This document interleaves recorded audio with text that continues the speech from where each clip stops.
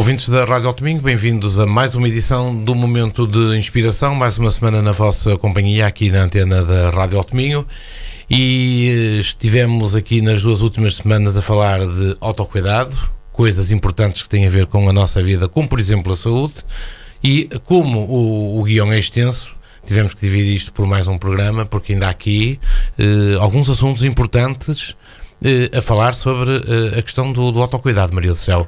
E um deles é nós estarmos presentes em todos os papéis da nossa vida. Por exemplo, eh, na vida pessoal, na vida eh, profissional, eh, no relacionamento, conforme no outro programa, com, com os outros, na parte social.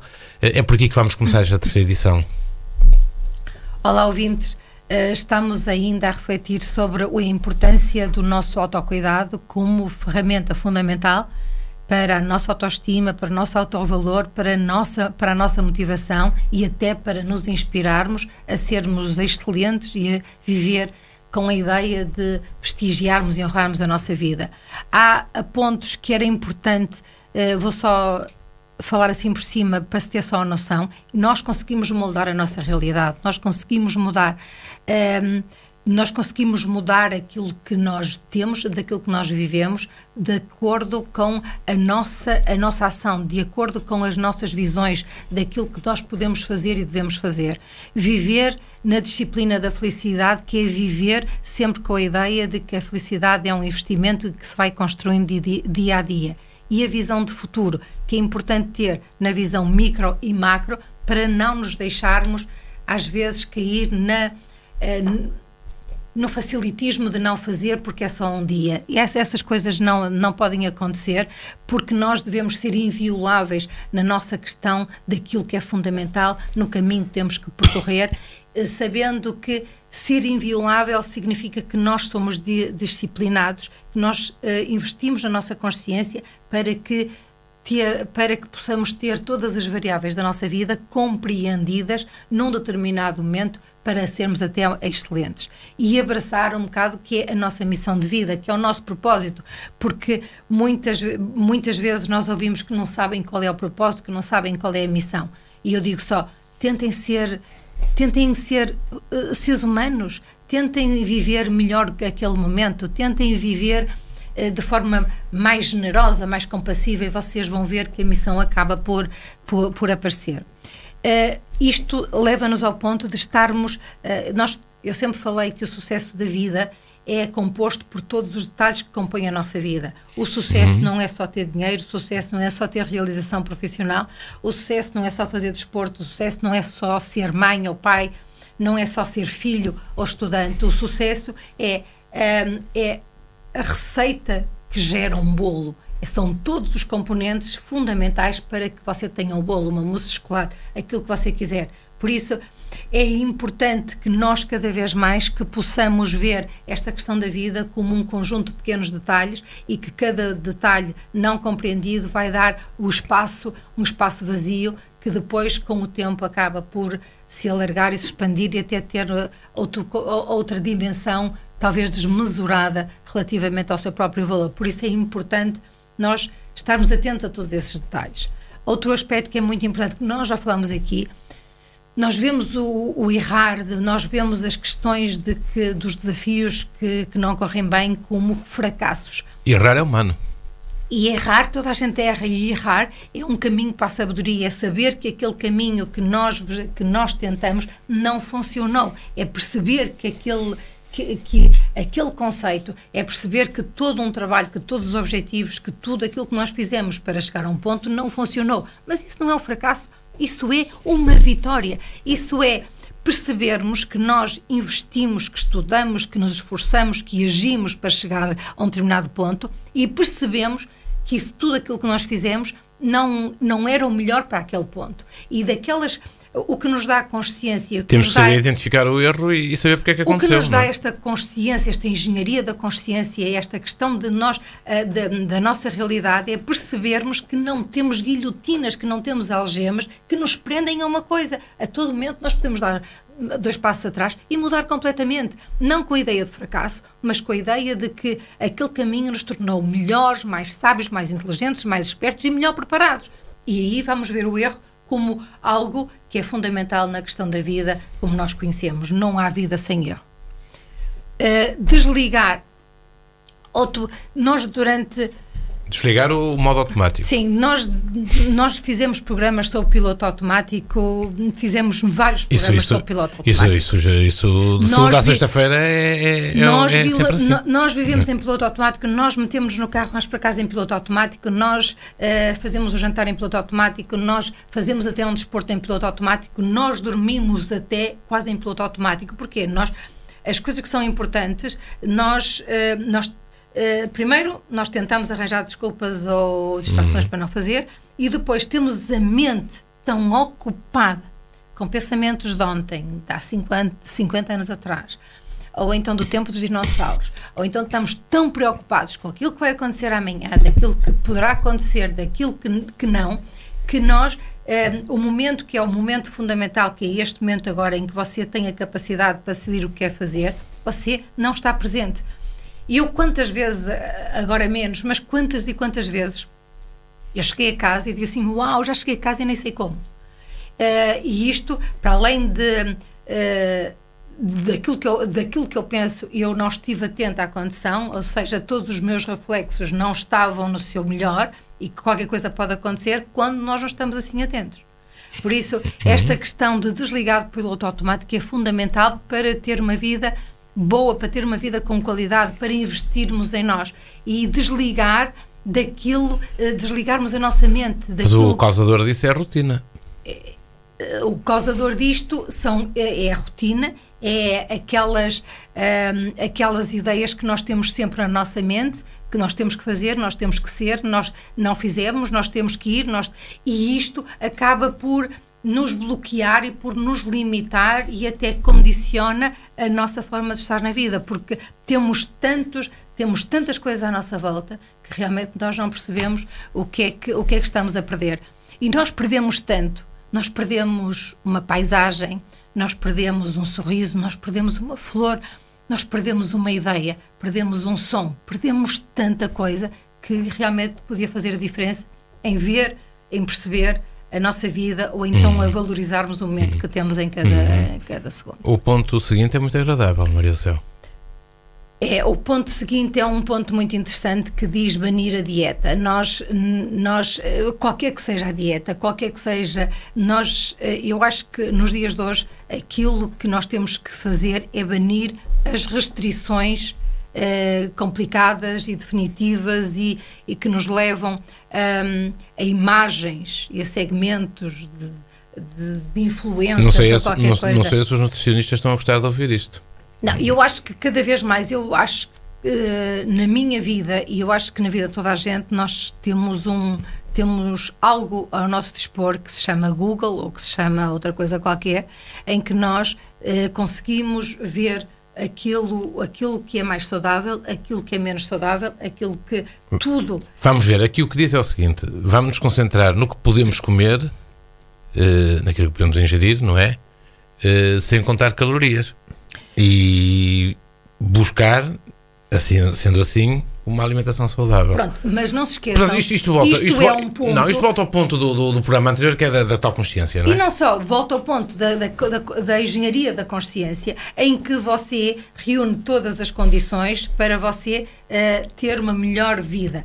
Banir a dieta não significa que você vai comer tudo que quiser, vai beber tudo o que ele quiser e vai ter o peso fantástico. Não, porque hoje em dia nós sabemos que não é comer o que quisermos, que não é beber tudo aquilo que podemos. Vai ter que conhecer o seu corpo para, exato, e saber o que pode e o que não pode. Temos que aquilo que eu acho é que nós devíamos banir números de, de, peso, números de tamanhos e não sei o quê, nós é que deveríamos e devíamos nos saber adequar e adaptar à medida que o tempo vai passando. Isso é que é mais importante. Relativamente à dieta, eu acho que há tantas ideias, há tantos conceitos, há tantas filosofias que hoje é difícil nós seguirmos o que quer que seja, porque apressa alguma coisa e apressa outra contrária, e nós temos que encontrar aqui o ponto de equilíbrio relativamente à dieta, uhum. sabendo que a, dieta mediterrânica é a mais saudável, por isso tente fazer o melhor que pode, faça uma alimentação com produtos que você tem, com produtos que você conhece.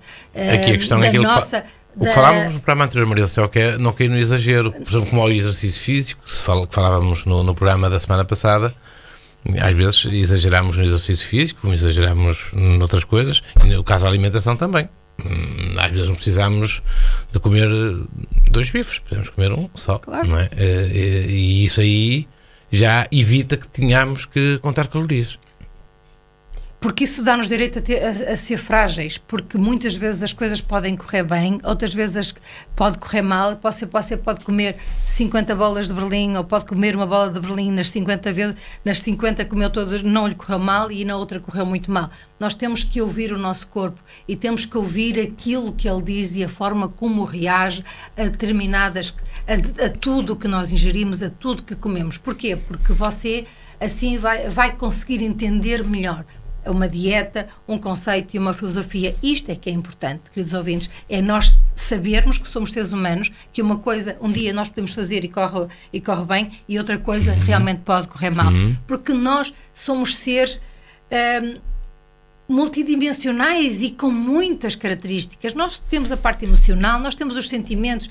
nós temos tudo e a nossa, a nossa forma de estar pode realmente nos prejudicar num determinado momento para nós uh, aproveitarmos totalmente algo ou não.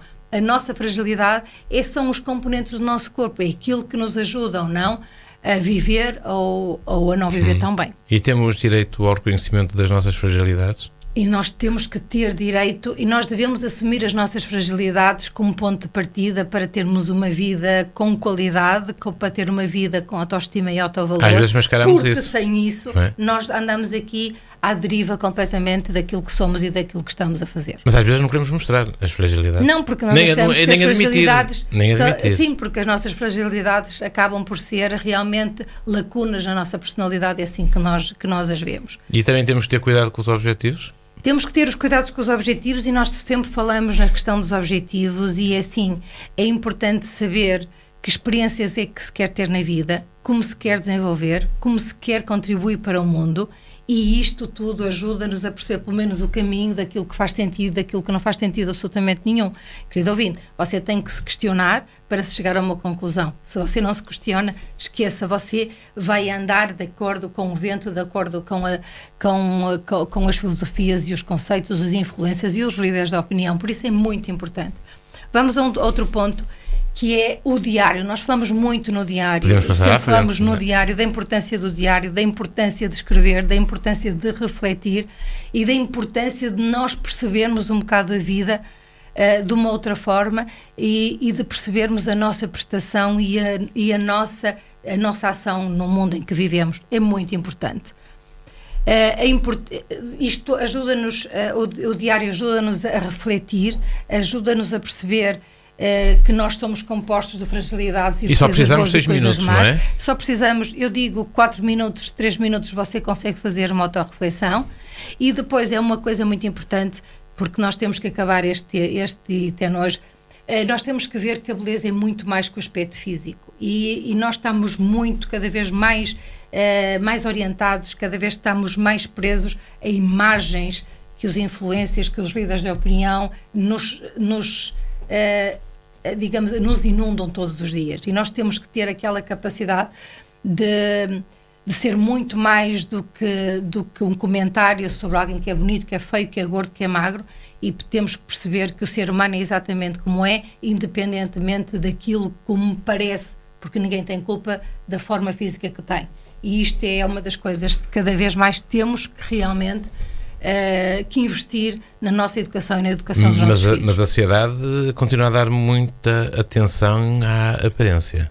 E Sempre a aparência. continua a valorizar muito isso. Cada vez mais. E por isso, desde de pequenos, que se faz logo aquela coisa do bonito, do feio, disto ou daquilo, depois temos os TikToks e depois temos os Instagrams e não sei o quê, e isto ajuda também a. Uh, uh, a, a, nos dar tipo estereótipos de, de, beleza, estereótipos de como se deve fazer e de como se deve agir na vida. Isto é realmente mesmo complicado. Uhum. E a autorreflexão é importante? E a autorreflexão é super, é fundamental para nós percebermos qual é o nosso caminho, quais são os nossos objetivos, o que é que nós estamos aqui a fazer, o que é que nós conseguimos com todos os detalhes da nossa própria vida e que fim é que nós conseguimos com, o, com a nossa ação, com o nosso desenvolvimento e com o nosso autoconhecimento. Isto leva-nos também para a ideia de que não sendo agressivos ou não sendo obcecados com o exercício, é fundamental exercitar o nosso corpo, andar em vez de, de, de elevador subir as escadas, fazer algum tipo de caminhada, fazer estacionar o carro mais longe para poder uh, fazer, dar mais uns passos, porque é isso que vai ajudar a sua cabeça, vai ajudá-lo uh, até que o seu próprio organismo funcione melhor, porque é isto que é importante. Se o nosso organismo funcionar bem, você vai ter uma saúde muito melhor. Se não funcionar, você mas, está um mas, bocado. Mas se nós não temos tempo, como é que havemos de, de exercitar? Uh, nós temos que nós temos que arranjar tempo e não nos distrairmos pela questão do tempo ou pela questão do conceito do tempo. É, todos nós temos tempo, temos 24 horas, toda a gente tem. O que você tem que é organizar, é perceber onde é que se distrai nesse tempo que você tem disponível para viver. Tem que dormir, comer, trabalhar, descansar, essas coisas todas. E uma das coisas que, que nós vamos terminar o, o programa hoje é inspirarmos na natureza revitalizar. Quando nos revitalizamos, absorvemos os nutrientes, pensamentos e ideias de que precisamos. Cuidar, cuidamos-nos quando alimentamos a alegria e inspiração que desejamos. Podemos consegui-lo através do compromisso da dedicação para connosco para o, e para o mundo. Confortar. Quando nos confortamos, damos amor, atenção, tempo e espaço para simplesmente ser. A natureza é perfeita assim. Desabrochar. É uma alegre celebração do nosso florescimento e o reconhecimento de tudo o que somos e tudo o que podemos ser. Por isso, esta questão de, de, de, destes programas tem sido o autocuidado, uh, de olharmos para a natureza, de percebermos como é que a natureza, na sua, na sua complexidade, como é, que, como é que as coisas se desenvolvem, todos os processos, e como é que supostamente não há controle e as coisas funcionam. Por isso, queridos ouvintes, Uh, acho que cada vez mais temos que estar, temos que perceber que temos que simplificar, mas sendo fundamentados. Temos que perceber a vida numa perspectiva diferente para perceber que todos nós podemos lá chegar. Todos nós podemos ser felizes, todos nós podemos não ser tudo aquilo que os líderes da opinião e influencers nos parecem, mas sentimos-nos bem, sentimos-nos paz, sentimos alegria, sentimos que estamos a ser uma boa. A natureza, a natureza é um bom influencer. E, e, eu acho que a natureza é um, o nosso maior influencer e aquelas pessoas em que nós realmente podemos copiar. E ficamos assim na edição de hoje, uh, em que fizemos a terceira parte do, do, do autocuidado, uh, Maria Céu. Uh, ficamos aqui com três programas sobre eh, esta, este, este tema importante que abordou vários aspectos, desde a saúde à vida pessoal e também à nossa consciência. No final, música de um francês que é French Kinjus, o nome próprio dele é Vincent Fenton, tem o tema Color Show, As a Color Show, e é com esta música que fechamos a edição desta semana e dois oito dias voltaremos cá. Obrigada.